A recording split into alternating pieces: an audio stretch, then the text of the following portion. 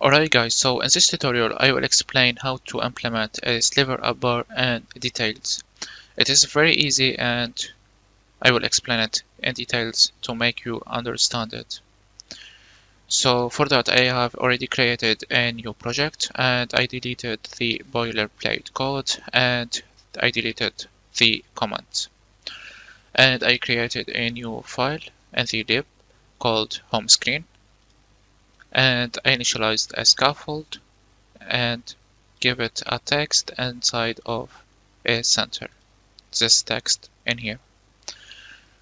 So I will just delete this code and in here in order to start we need to initialize a custom scroll view. Now this custom scroll view takes slivers and as slivers we need to initialize the sliver app bar like this. Now this sliver app bar takes few arguments. And in here I will initialize the title just like a normal bar let's say in here text. And say in here sliver app bar tutorial then you can give it other attributes such as can give it actions. I will use center title put it to true. And the most important thing is to give it a expanded height. So in here let's say give it expanded height put it to 200 we can give it a background color and use colors dot red for example save it and here it is. Now if I move it for sure nothing will happen. Now many of you will try to implement it using a list or a grid view so in order to do that you need to initialize another child for this sliver which is type in here sliver and you'll get a lot of children.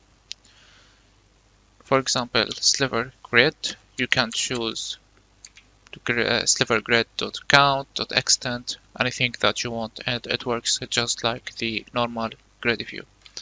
For a list, for example,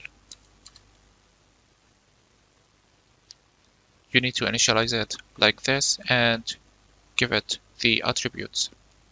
I will explain it later in this tutorial. For now, let's initialize the sliver fill remaining. And this is what takes the other space in here. It takes few arguments such as the child and I will give it a text uh, or paste the code that I copied before. So save it now, move it, and here it is. See how simple it is. Okay, so let's, for example, I will show you something. There's many attributes for this. You can apply leading just like a sliver app bar. I mean a normal app bar.